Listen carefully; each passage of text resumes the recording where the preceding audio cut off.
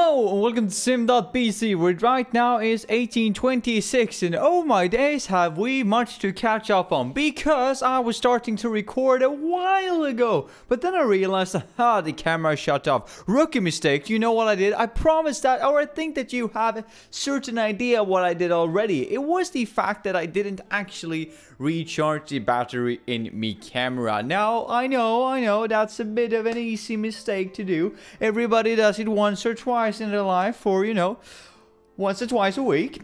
and to me, it just happened to happen right now. You see, I was actually starting using the camera and I saw that, oh, I have two, so to say, two parts of the battery left. But oh, my days, were I wrong. It took less than a millisecond for the second part to drop. And then was just the last one. I was thinking, hmm, maybe because it was so fast to drop from the second one to the third one, you know, to the third part of the battery life, the third of the battery life, that, wow, maybe it's like an iPhone that when it says 1%, it holds for the entire day. But no, no, no, no, no, that was not what's happened no, no, no, no, no. It actually is completely was shut off. And this was about six minutes into the video. So I have some form of idea what I'm actually working with here today. Yeah, for once. Yeah, for once.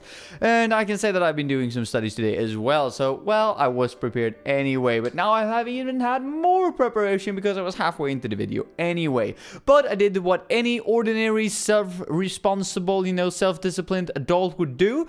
When it crashed, I stopped all of the production and I went to the refrigerator. I looked for some chocolate and I put one little piece in my mouth.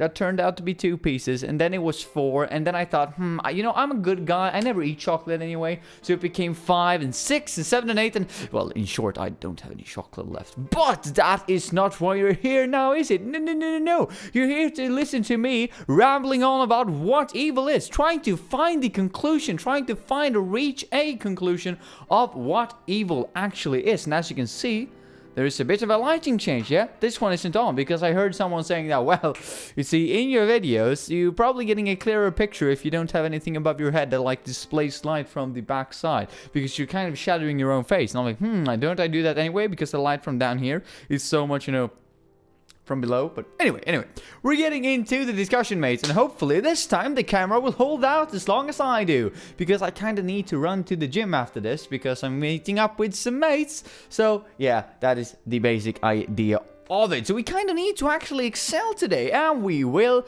we will, oh my days, if we will. Because today, as I said, I've been looking into some articles. Yet again, I've been looking into some structures, some websites, some shady stuff, some unshady stuff. I've been reading some news articles because today we're talking about social media. No, we're actually not. That's what we talked about yesterday. And social media is good and all of that, in a way, depending on how you view it. Some people actually think it's evil. Mm -hmm, as we said yesterday, depending on how you, as a person, as a user, operates on the different sites. But it's not only the social media, we also took off that advertising and companies and people don't like them.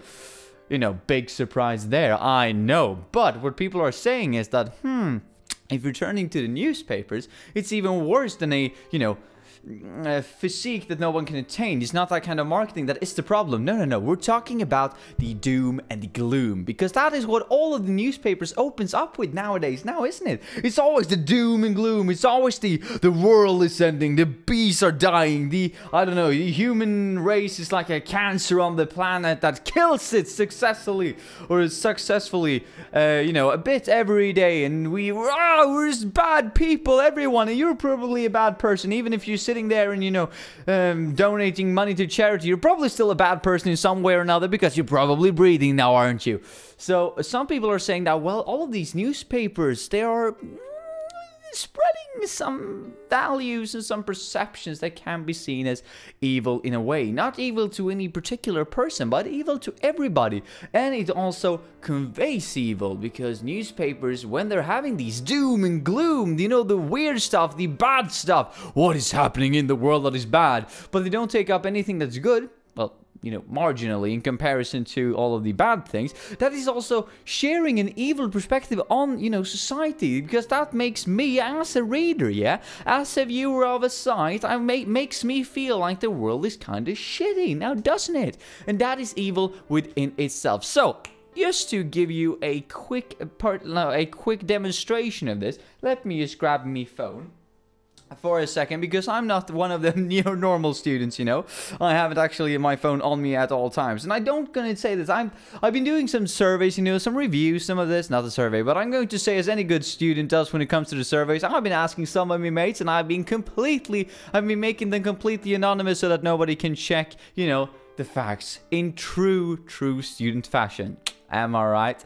You know, doing my uh, my thesis and all of that. Anyway, but that's because of yeah, yeah, it's it's more complicated. It's about you know sensitive topics and all of that, so they kind of need to be, um, well, I can they kind of need to be anonymous. But if we're just viewing the top stories here on my phone, we can see that. Uh, well, if we just look into it, military military deploy after spy poisoning. Human genome pioneer John Sulston uh, dies. Okay, now, that's not that good either. Uh, tariff risk the race to the bottom. Yeah, that's not good either. Guardiola fined over yellow ribbon. Okay, fine. That's not good either. Burger flipped robot taken offline. Oh no, it's taken offline. Why? Why? Africa only female president to quit. Well, to quit, not to be, you know, assigned. Uh, top Indian cricket charged with violence. With violence? What is this? Kenyan political rivals now brothers. Well, that's actually kind of good in a way, perhaps. I haven't actually read the article yet.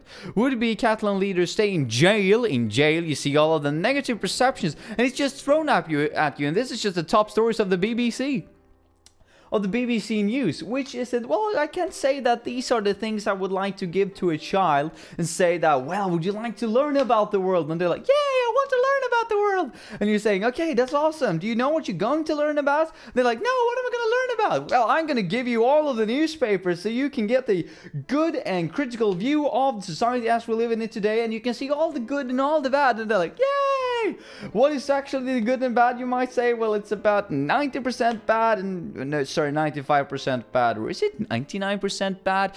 And a marginal slice of life goodness inside there, with some twist making it bad. And they're like, yeah, no. Because that's not what you want to do now, is it? You don't want to give a child this news pieces, right? Because they're not funny, they're not good, they're not conveying any good message, at least not in my opinion. It's always the doom and gloom, right? It's always the, we're gonna die, we're bad, we're bad, you're bad, I'm bad, they are bad, they are worse, they are always bad, and all of us are bad in a way, and everything that happens in the world is bad. And this idea idea, if we're connecting it, yeah, back to them evil stuff, is that the thing that we're getting into is that many people believe that this kind of perception, this kind of view on society created by news pieces are contributing to a very evil society, a very evil medium, a very, what you would say, evil perception, and of course as well the perception that, well, delivering these evil perspectives, so to say, the quote-unquote evil, because we yet again haven't actually defined what evil is. That's the entire point of this little project here. They're saying that, well, actually projecting all of these negative thoughts are evil in a way, because that makes people feel, yeah, it makes I, as the general viewer, feel like the world is bad really bad, perhaps more bad than it actually is. I mean, I know, right? Or I, I'm open to the interpretation, I'm open for the possibility that everything in the world isn't correct and right and happy all of the time. Now, that would just be ignorant to assume such a statement, to assume such a viewpoint of society and of the world. However, I do not believe that it's equally as bad as all of the newspapers try to paint it out to be.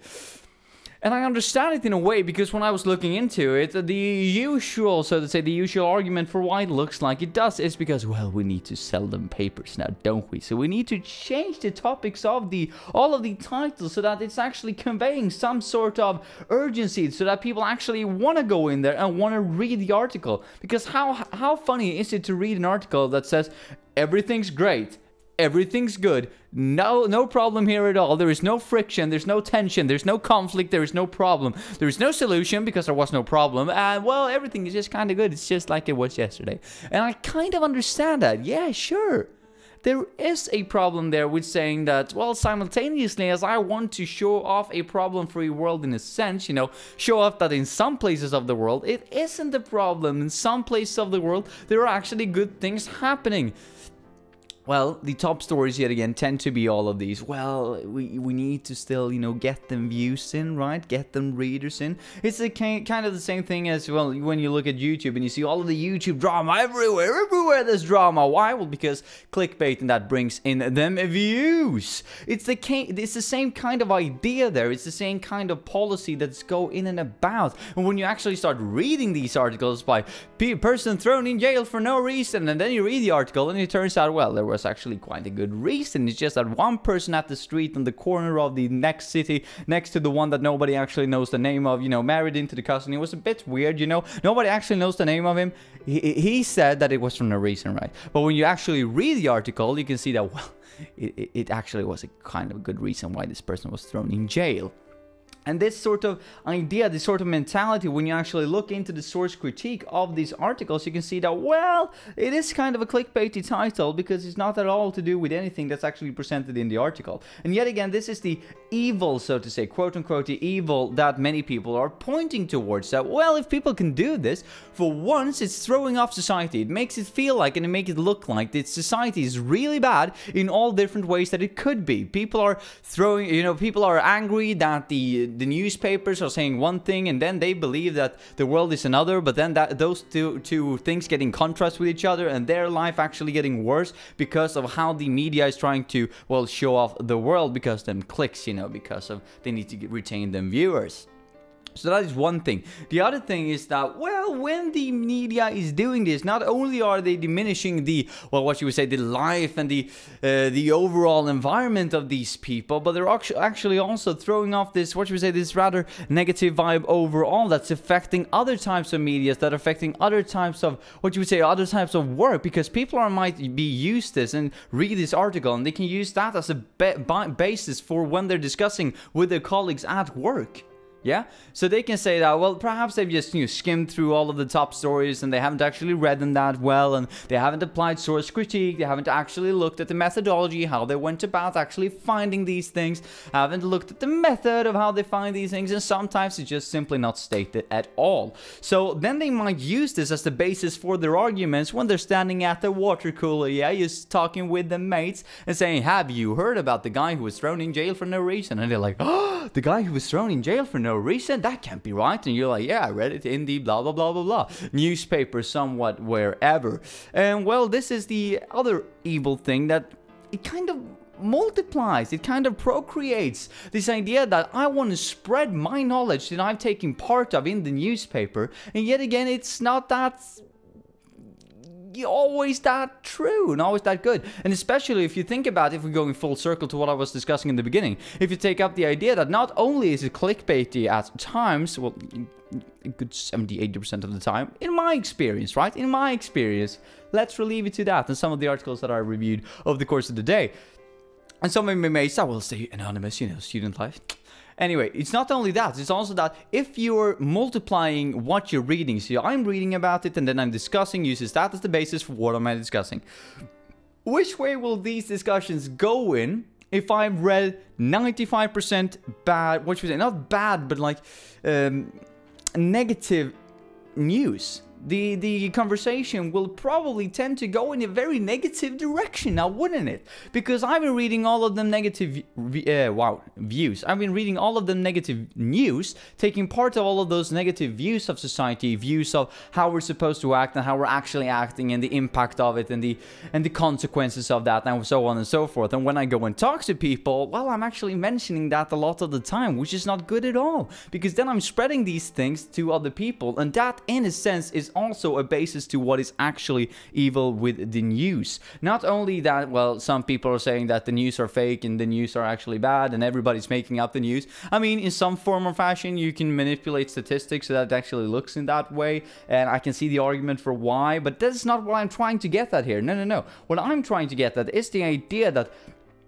the two things yet again. When you read the articles you get a negative perception of the world or a more negative perception than needs to be because you don't get your positive news right? So that is kind of diminishing the environment around you simultaneously yeah as you're getting such an improportionately bigger amount of negative views and negative news that you're then reviewing and using as the basis for your conversation later on in the day, which is spreading this negative, negative, negative, negative, negative, negative message, which in a sense, according to some people, is what evil is all about. Spreading a wrong message. Kind of the same idea that we were getting at yesterday. This idea of lying, but this time you're not actively lying because you don't know that you're lying, which is another topic for another time. If you're actually speaking, if you think that you're speaking the truth, but it's not true, are you lying?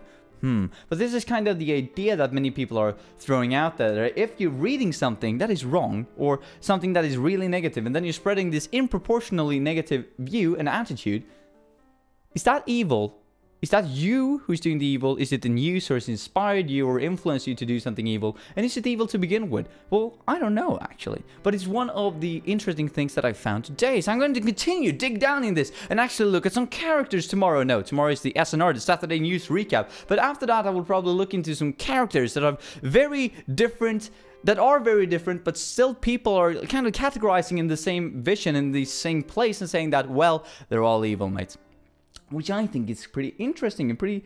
Well, it's something we're gonna get into anyway. But that was everything for me today, mates. Have a nice one, and I'll see you tomorrow with the SNR. See you, mates.